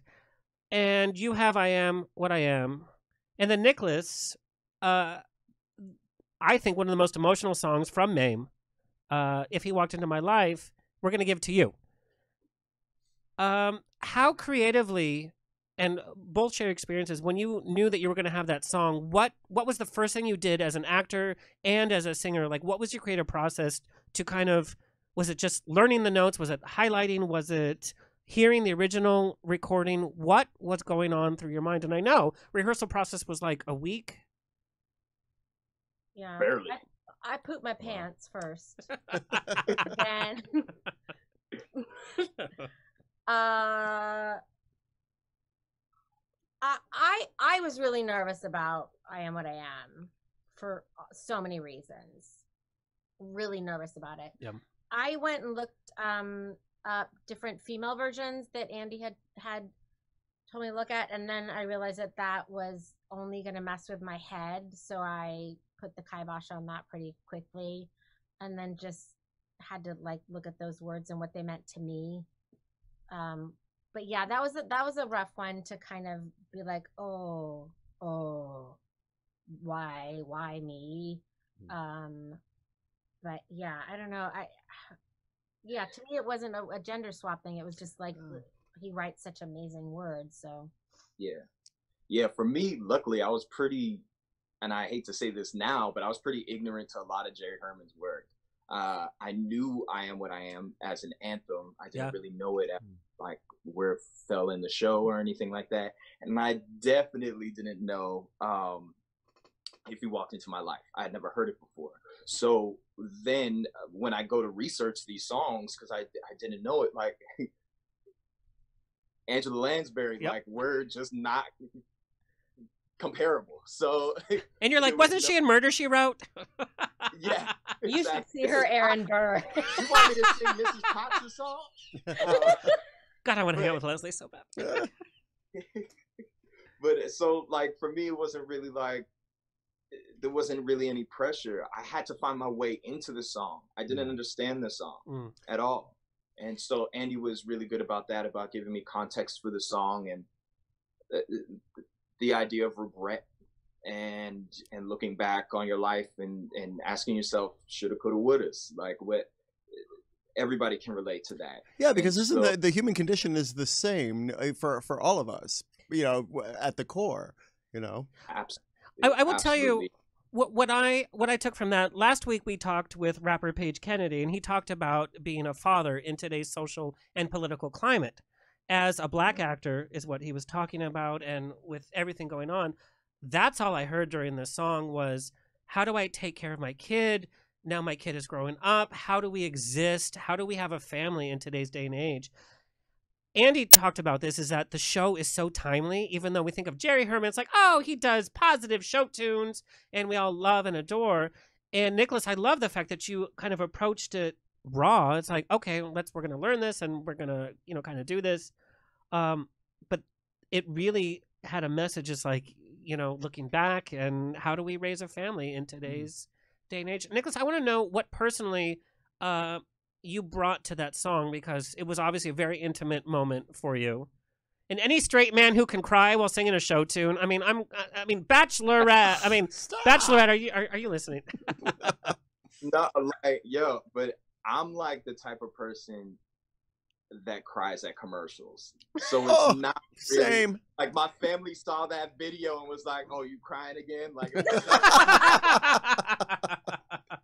i just have very active tear ducts or something like it wasn't really like yeah. But no the song is beautiful and the music just leads you there. And the fact that mm. you're coming in in the middle of a conversation like there's a lot of things going on right now that you know whether it's politically or or privately or just the fact of of thinking about you know when i was doing hamilton out here in la and we had our final dress rehearsal and like hours before our first preview we got shut down and so for the past since march i've been thinking about the you know that last dress rehearsal Yeah. that we had for the show and i'm thinking about like wow did i i took that for granted and there were moments in there that i was kind of just saying well this is a dress rehearsal. Let me either save myself for tomorrow or you know or just kind of taking mental notes not really living in the moment. And you know that and, and then finally to be able to perform on a stage and to perform a song like what the, the first song i sing in it is called i belong here. Yeah. Mm. and just really to take all that in was very emotional it was very very emotional Well, I'll tell you, getting emotional on camera, it's like, oh, are you crying again? It means so much on so many different levels. Number one, as a, a gay theater kid, to see a straight man enjoy an emotional role means a lot to me because it's you know this is the power of theater. It doesn't mean like gay boys can only do theater. Like it's it's more than that. Um, also, you know, it's just a straight man in in in general. You know, I think we're learning that emotion is it's okay to have and it's great to express. Well, what you what you say that that that comes from a place because I know when I was very young, being uh even, I, even slightly effeminate or showing emotion was a Slightly, of- girl. He was doing marionette shows with his socks. was a s uh, was was uh, I I know for for my father who was filled with machismo, it was a sign of sort of weakness, right? So yeah no, absolutely i'm i'm from bermuda Yeah. so Mhm. that island life it's like no emotion and then after i moved to, like i was seven years old when i moved to boston and like you know that boston irish catholic tough Mhm. Yep. like you there's no there is no uh room for that and uh in school at least or or playing sports or anything and but i had like a really hands-on mom Hmm. my my sister and brother are both in the arts and like Your we- brother's an opera singer, right? yeah well actually he's in another cast of hamilton too he's Oh, I love ridiculous. that. What's his phone He's number? all- his phone after the show. Okay. Uh, but yeah, no, he's he's really amazing. He's in like in a bunch of like vocal competitions and stuff like that too. Um, yeah, so so we're we're an artsy family that you know, and then eventually my dad came around in the later years. You know, men seem to get more emotional as as they get older. And That's uh, exactly right. yeah, it's Tell it's about really and also another thing that you can pull from with uh with if he walked into my life. All right, Lesli, uh, we're going to let you go, but we're going to do a little rapid fire first. Oh, but uh, I got this question, by the way. Like I said, I saw you on My Vacaya Gay Cruise, which we love to have you there on our debut cruise. We love, of course, gays love you. Big hair, big voice, big. yes. Talent. Talent. God, Nicholas is so good. He's so good. What is your message to your gay fans in regards to the future of this nation? Tomorrow's a new day. oh just relief and and the the go forward with no fear Hmm. no i just you know i i still think like be we we have a lot of work to do be careful but oh my gosh i'm just i just feel like tomorrow everyone's just gonna go Hmm.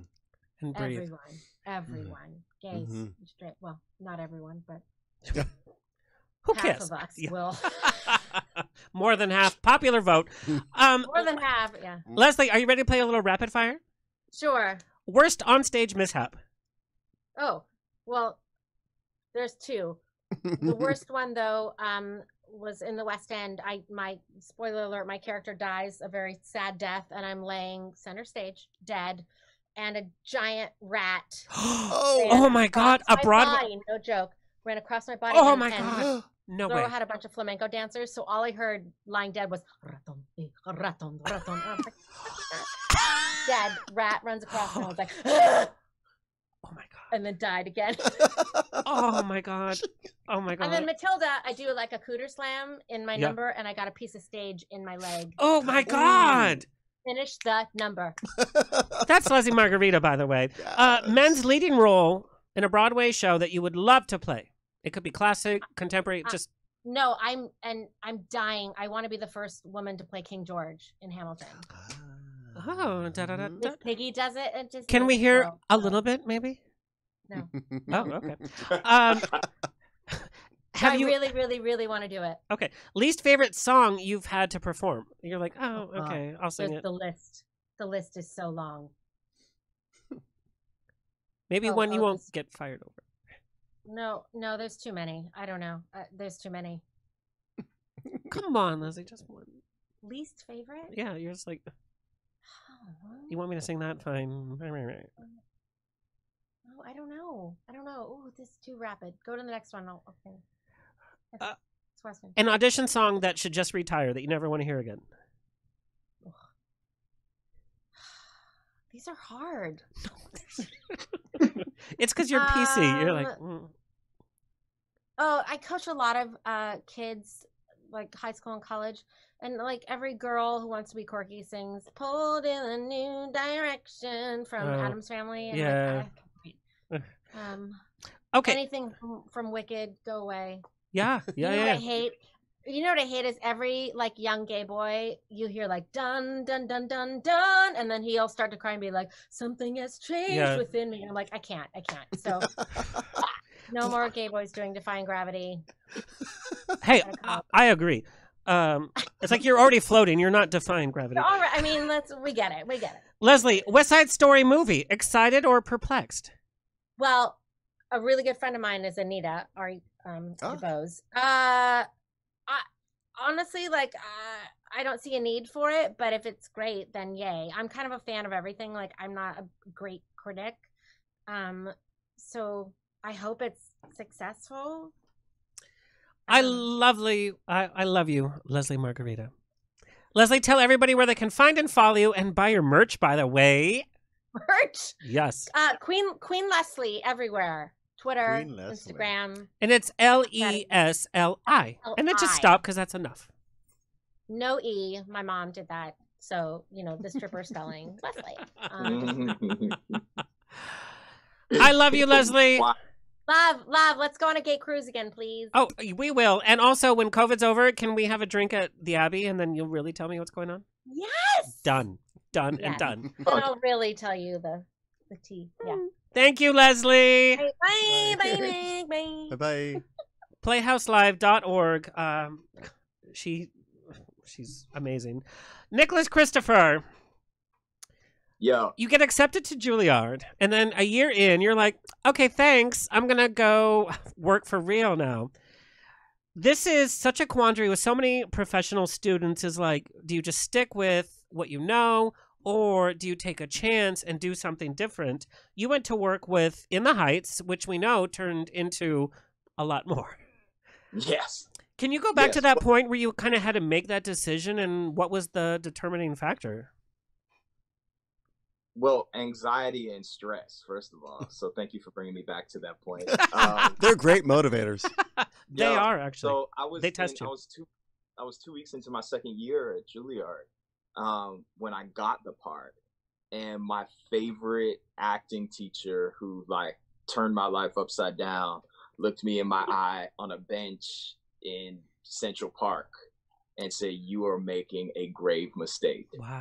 And you know, I just had to chalk it up. Everybody has their own paths, and you know, it was like I knew- I wouldn't have just left for any part, like to be you know to understudy Simba in whatever right you know tour or something like that. That would have been fine if I was out of school, but like I wouldn't have left school for that. Uh, within the Heights, it was always. I mean, it was a show that gave me permission to be able to do theater and and not and be myself within theater. Mm. Um, not have to put on a voice or a certain walk or anything. Like I could truly be myself on stage. And not only that, but I got to do it in Puerto Rico with Lin at 20 years old. So I have I had my first audition for In the Heights when I was 19, and I booked it when I was 20. And there was I just couldn't pass that up.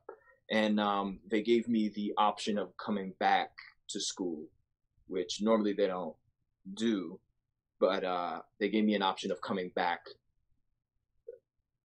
if I didn't. Yeah. So, but then I ended up booking Rent, and then everything was just kind of off to the races after that. So I definitely always had that question in my mind: What if I had stayed? Uh, but you know, I got the I got the groundwork there to continue to learn and grow. you were kind of the poster child, along with Lin Manuel, of the future of Broadway. We know Jonathan Larson changed everything with Rent, which you happen to do the revival, which I think is so, um, you know, it's so kismet that you did that revival, but you're also part of this new wave of Broadway. Something we've never seen. If somebody would have asked me to invest twenty dollars into Hamilton, I would have been like, "Are you crazy?" Like, no. There's this new wave of Broadway, um, and it's affecting everything. It's it's more mainstream. Broadway has become mainstream. Um, let's talk about taking over the role of George Washington in Hamilton. You know, yeah. What an amazing opportunity, but also at the same time, everybody knew the album backwards and forwards and backwards and forwards. How did you want to make the role your own so that the minute you took stage, we're like, oh, it's it's Nicholas is is is is here. Yeah, I mean, I think I was like, I was one of the youngest people. I mean, especially at that time, I'm, Yeah. well, I was like, what, 25? And Chris Jackson obviously has been around for a while, so I knew that I I had to um, bring gravity that that I hadn't really experienced before to the stage, and that was the biggest challenge. Was I didn't want it to look like a 25 year old, you know, next to Javier, uh, and just like have it not make sense. So I I it was it was, it was it was a lot, and it was big shoes to fill with Chris Jackson because you know Chris is just a big presence and he's a big personality, and um, you know he's been an idol of mine for a while. So it was it was interesting because I also did the readings of Hamilton, so I I saw it transformed from five songs to then like four hours and 15 minutes to then the like well crafted epic show that it is now. And I played almost Wow. every male role except for George Washington because it was always Chris. Isn't that crazy? Um, yeah, it was. It's really weird. So it was. It was a new experience. It was. It's. It, I don't even. I don't know how, but uh, I had a lot of guidance, and I had great. Uh, you know, I had a, a great mentor in Chris. We're gonna get a little fun right now. Uh oh. There uh, we've interviewed so many theater people that have had horrible experiences of dating fellow cast members. well, we know it kind of has worked for you, right? Yeah. Uh, yeah.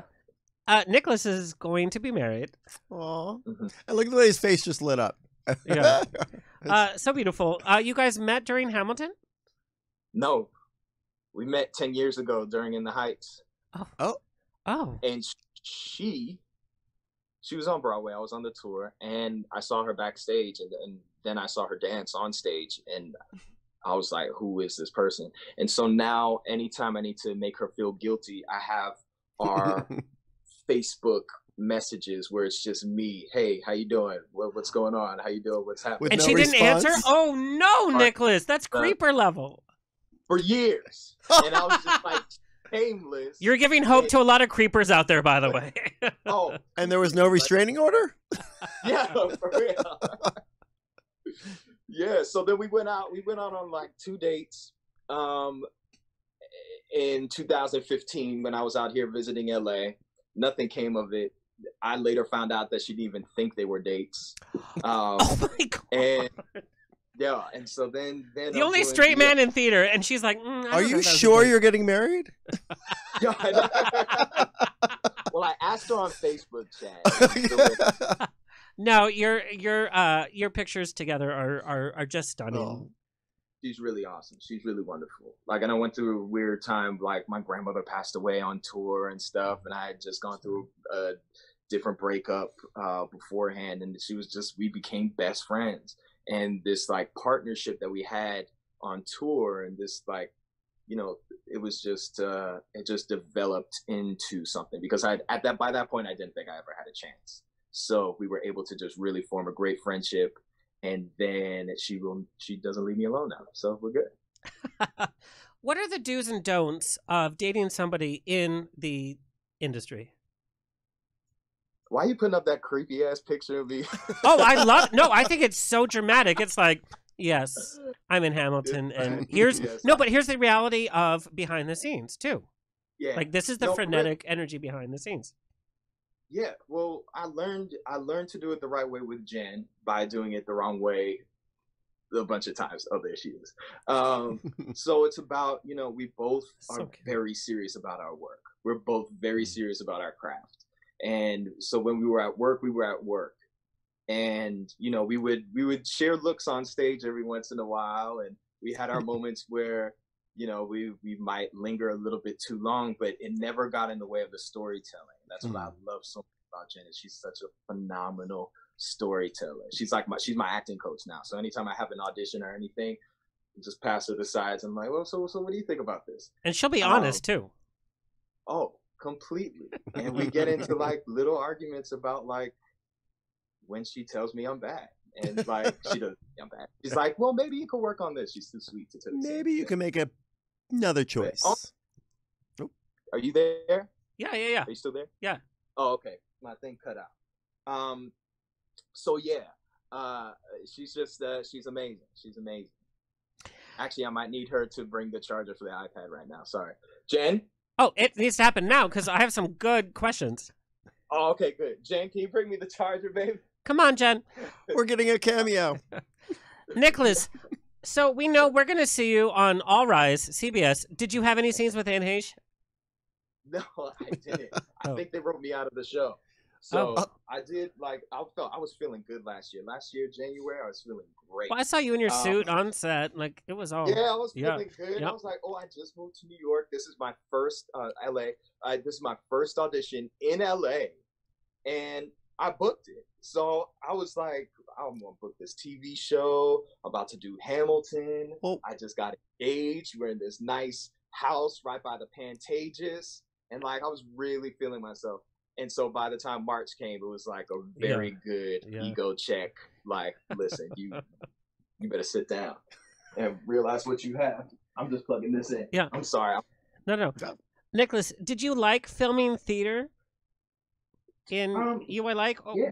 What did you like about what, what did I you like like- about it? What did you not like about it? This is so funny. What's this view is just hilarious. Yo, I'm so sorry. How unprofessional. Give me two seconds. Okay.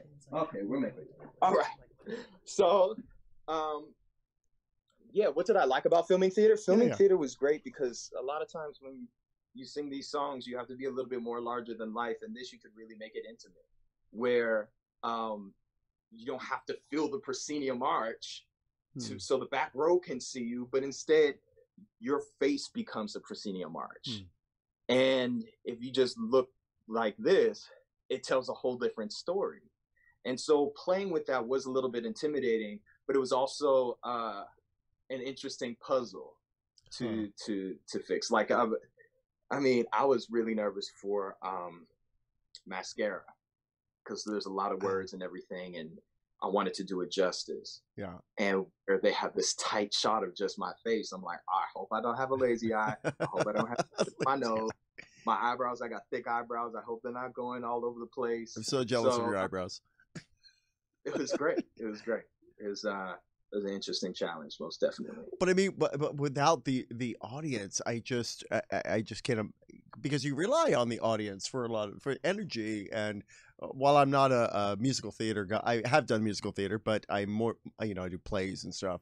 So not having an audience there to feed, you know, seems like a, another cha- a challenge upon itself. Definitely, but you got to be you got to the audience is tricky sometimes hmm. too. This was a much more controlled environment, hmm. right? So when you have an audience it can feed you, but then all of a sudden you start feeling the audience and hmm. Then all of a sudden you start feeling the audience. Am I still here? Yes, Um, you are. and then like then you start giving a little too much and it actually takes away from the Yeah. story and uh with yeah and then the same if the audience is dead then does your performance become dead too so it was just really cool it was Oh, a yeah. controlled env- where we felt safe Nicholas, we're uh, oh, we have a little cute picture. Look, look at that. So his his post is, you know, I make fun of his social media, but on Instagram, his Instagram is great.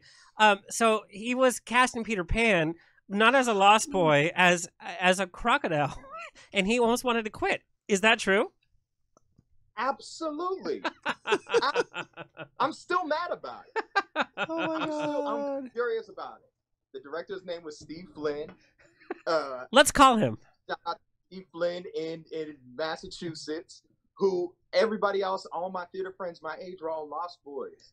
And because, I don't know, were- during the audition, they were like, Can you crawl on the floor? And I was like, Yeah. And I crawled across the floor, and they were like, Great, you're the crocodile. Hot ass suit that weighed a thousand pounds. And not get to be in any of the fun numbers with my friends, but I got to sweat and just crawl across the stage. Yeah, the Lost Boys do have some fun uh, chorus. So, Nicholas, I, I want I want your honest opinion here on the show. We you know we get a little tipsy and we get very candid. Uh, We're truly entering a new age of diversity in musical theater. Of course, before COVID, but I think after COVID, we've had all this pent up energy. We've had BLM, eh, BLM. We've had a change of administration. When COVID ends, I think theater is going to be like, it's going to be an explosion of the angst that we've been feeling. Um, but there is some pushback saying it can go too far, such as like, oh, is an Asian Evita or a female Sweeney Todd around the corner? What is your take on the focus on diversity?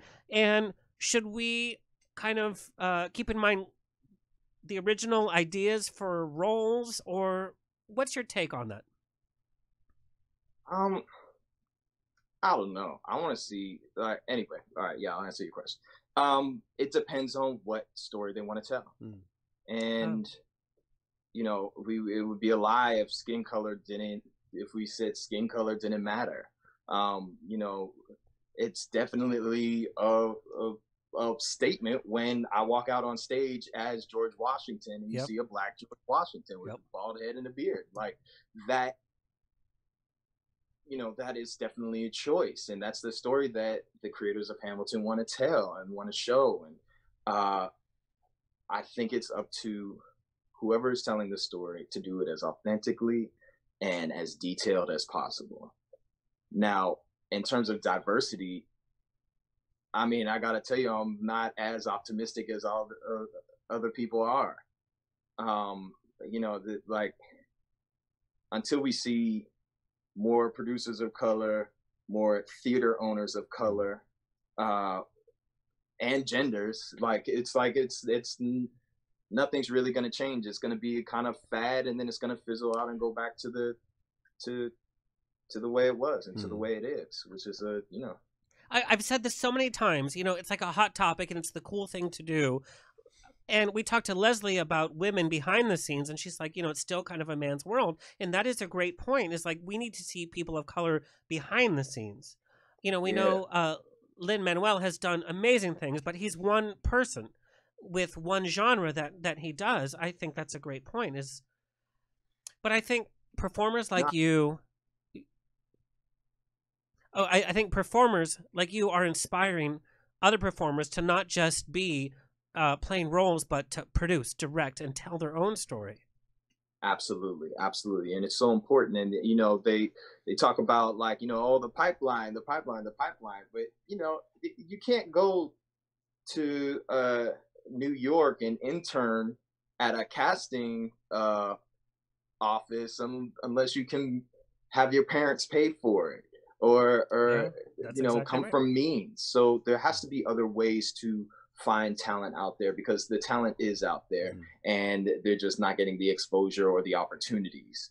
Uh, as well as black producers. There are amazing black producers out there that want to tell interesting stories that are very qualified. But you know, when they sit down across the table from a theater owner, is a theater owner gonna go with the black producer who hasn't produced anything on Broadway yet, or are they gonna go with Scott Rudin, or go Yeah. with somebody who's reproducing Annie, or or you know the A the- safe the bet. thing.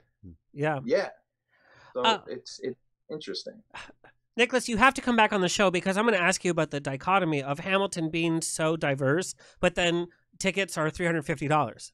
And Yeah. who's able to see that? That's a whole other show. Yes. And now you're in yeah, LA. It's but- very easy for you to come in and talk. Yeah, yeah, yeah. I mean, I'm in LA. I'm chilling. I got you know. And Lesli's chilling. We're we're all just gonna. I'm chilling. Yeah. uh, Nicholas, who was singing at your wedding, by the way? Can I please come to the reception because I know you're going to have all of the hot Broadway chorus boys, which I have a have, have a thing for. So I mean, we're definitely having um, uh, Ryan Shaw. Do you know who Ryan Shaw is? He played Stevie Wonder in Motown, Oh. and he it, look him up. He's Grammy nominated, nominated, my favorite singer in the entire world. Uh, definitely gonna be Morgan James is gonna be in there. Uh, Amber Iman, my brother, my sister, we're gonna make her sing. Uh, Wilkie Ferguson. We're gonna have. It's gonna be I what I want, what I envision is just going to be a live kick-ass band who whatever, whoever wants to grab the mic and Uh. hop up and sing a song is going to grab grab the mic and sing a song. Love that. Am I invited? I, I just have to be in, in, invited. Yeah, you got the liquor. He's like, he's telling his fiance, remember, no. Nicholas, are you ready to play a little rapid fire? Yes. So we talked I'm about gender swapping, leading female role in musical theater. You would love to play. I'd love to play. You know, I gotta go go for it. Like I'd love to play Elphaba. Absolutely. Oh wow! That's yeah. Uh, biggest shady thing you've seen happen backstage between actors, and you've done road and you've done Broadway, so you've been in many different experiences. Yeah, I won't tell you what show, but there was an actor who was yelling at uh, a sound person backstage because they came in. Anyway, they were having a messy show because they had a good time the night before, and they were yelling at Oh. the sound person because they couldn't hear, and I had to put a stop to that because that was not Good man. yeah, it was the person's fault. I think that would be me, by the way. Um, what show tune best fits your personality? Excuse me. What show tune best fits your personality? Just my personality. I don't know. It depends. Sometimes I'm Sweeney Todd. Sometimes I'm Uh, the star to be. ah, yeah, okay. Uh, least favorite thing you had to do in Miss Saigon, whether it was backstage or on stage? Least favorite thing. Yeah, you're like, eh, I had, a, I had a leak in my dressing room that was causing mold, and they kept telling Oh. us that there was no mold, but there was mold spots growing on my ceiling. So sitting in my dressing room during Miss Saigon was the worst. And they're like, what is that? And you're like, they're called Bui Doi. so stupid. Uh, what musical would you make into a film if you were a producer? Not starring in, but like as a producer. What film do you think would be really popular? Um, I would love to see. I mean, Ragtime's my favorite musical. I think and that would be we just awesome. celebrated the anniversary, by the way, which Yeah. it, everything is happening. You know, like the Jerry Herman, the themes in that, and the fact that we're celebrating Ragtime's anniversary. It means so much, especially and Rent tomorrow. and Rent 25th anniversary That's, too. that- that's That's right. right. Yeah. Nicholas, uh, where can people Rapid- find and Rapid fire. oh yeah, Oh, that was great. where can people find and follow you? Uh, you can find me at my Instagram account, uh, Nikriz, N I K R I Z. Yeah, spell that Uh, because I trying to tag you and poor Pasadena Playhouse is trying to tag all their cast members. So I'm like, forget it, just hashtag. Uh, yeah, just hashtag Nick Chris. Um, so yeah, N I K R I Z. Find me on. That's the one that I'm kind of the most on. No, Uh, it's great. There's behind the scenes photos and photos of your engagement and everything. It's wonderful. my beautiful lady. Yo, thanks for having me, and I would love to come back. And I, I would love to come sip on. What are you sipping on there? Oh, um, just a little vodka. Just, just a touch. Just a All right. tad. Sipping. Yeah.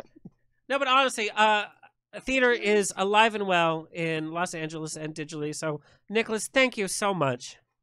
Yo, thank you for having me. It really, really means a lot, and I love that you guys do this because you know you give a voice to so many and give such an interesting perspective on everything. You have fun while you're doing it. Yeah. I mean, it's perfect.